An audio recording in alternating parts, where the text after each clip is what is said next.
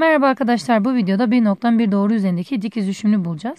Bir D doğrusunun dışındaki bir P noktasının bu doğru üzerindeki dik düşümü HXY olsun. Bu HXY noktasının koordinatlarını merak ediyoruz.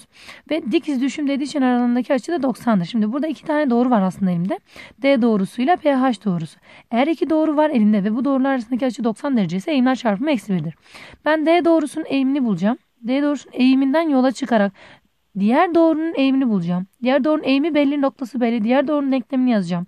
Ve iki tane doğru denklemi olacak hem de. İki tane doğru denklemin ara kesiti aranılan HXY noktası. Çünkü HXY hem PH doğrusunun üzerindedir hem de D doğrusunun üzerindedir. İşlem kolaylı olsun diye ben buna D1 doğrusu diyeceğim. Şuna da D2 doğrusu diyeceğim. D1 doğrusunun eğimi n1 ile gösterilsin. n1 y yalnız olacak. x'in katsayısı eksi a bölü b. E, d2 doğrusunun eğiminden de bahsedebilirim. d2 doğrusunun eğimi de şu şekilde olacak. Eğim 2 eşittir. Ters çevir eksiyle çarp b bölü a. Gerçekten şu x'in çarpımının eksi 1 olduğunu göreceksiniz. Şimdi d2 doğrusu için eğim belli. b bölü a eşittir. y eksi p noktasının koordinatları belli. y 0 bölü x eksi x 0. İşler dışlar çarpımı yaparak bx eksi bx 0 eşittir. AY eksi AY 0 ifadesini buldum. Buradan da BX eksi AY ifadesi yan yana dursun. Diğer ifadeler karşıya gitsin. BX 0 eksi AY 0. Şimdi elimde bir denklem var. X'e ve Y'ye bağlı sonucu bir e, skaler. E, X 0 da bir sabit. B de A'da birer sabit. D1 doğrusunun denklemi de AX artı BY eşittir artı c eşittir sıfırdı ama artı c karşıya gidecek. Eksi c olacak. Şu an elimde iki tane denklem buldum. Bu denklemi düzenlersem ara kesitlerini bulacağım. Buldum bu ara kesit hxy noktasını verecek. Şu an elimde iki tane denklem var. Bu iki denklemin ara kesiti h noktasını verecek. Ben birinci denklemi b ile ikinci denklemi de a ile çarpmak istiyorum ve sonra da taraf tarafa toplayacağım. A'da b kare x eksi a b y eşittir b kare x sıfır eksi a b y sıfır. Alttakini de yazalım. A kare x artı a b y eşittir eksi a c. Bu iki denklemi toplayalım. X parantezinde a kare artı b kare olduğu görülüyor. Çünkü şunlar gidecek. Eşittir b kare x sıfır eksi a b y sıfır eksi a c.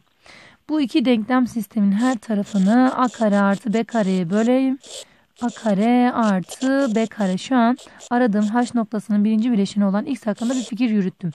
b kare x sıfır. Şurada biraz boşluk bırakmak istiyorum. Çünkü bir şey yapacağız burada. a b y sıfır eksi a c bölü a kare artı b kare.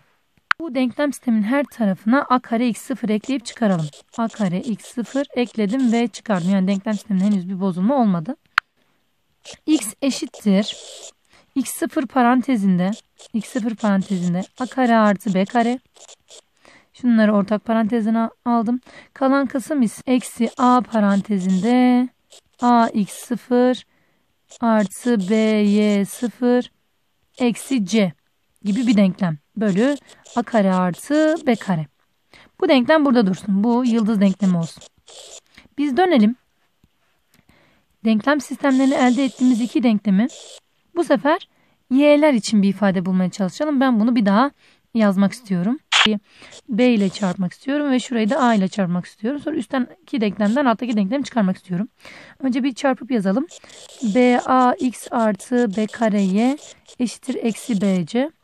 Ardından A B x eksi A kare y eşittir A a b x 0 eksi a kare y 0. Üstteki denklemden alttaki denklemi çıkarıyorum. Aynı şeyler birbirini götürür.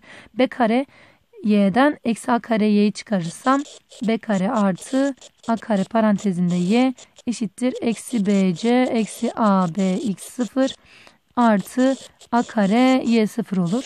Bu denklem sistemin her iki tarafını a kare artı b kareye bölmek istiyorum. y eşittir. Şöyle bir denklem buldum a y 0 hatta a kare y 0 biraz boşluk bırakayım şuradan eksi a b x 0 eksi b c bölü a kare b kare gibi bir denklem buldum. b kare y 0 ekleyip b kare y 0 çıkarıyorum. Bu denklem sistemini düzenleyelim. y 0 parantezinde a kare artı b kare eksi parantezinde by0 eksi ax0 eksi c bölü a kare artı b kare gibi bir denklem buldum. Bunu daha güzel daha şık yazalım. y eşittir y 0 eksi b parantezinde by 0 eksi ax 0 eksi c bölü a kare artı b kare gibi bir ifade buldum. Bir önceki sorudan da x için şunu bulmuştuk. Bu iki denklem sisteminden de şöyle bir şey elde edebiliriz. y eksi y 0 bölü b eşittir eksi parantezinde ax 0 artı by 0 artı c bölü a kare artı b kare. x için de aynı şey yapabiliriz. x artı c bölü a kare artı b kare. Son bir adımımız kaldı. Bunları tek bir satırda yazmaya çalışalım. Son bir iki doğrunun ara kesiti olan bir h noktasını bulma. Ama daha doğrusu e, bir doğrunun dışındaki bir noktadan bu doğru üzerindeki dikiz düşümü bulma formülü bu şekilde elde edilmiş oldu. Tabii ben soru çözerken e, getirip bu formülü yazayım. Burada değerleri yerine yazayım. Öyle sonuca ulaşayım. Öyle bir şey yapmayacağım. E, daha güzel ve daha zarif bir yolumuz var. Bir sonraki videoda görüşmek üzere.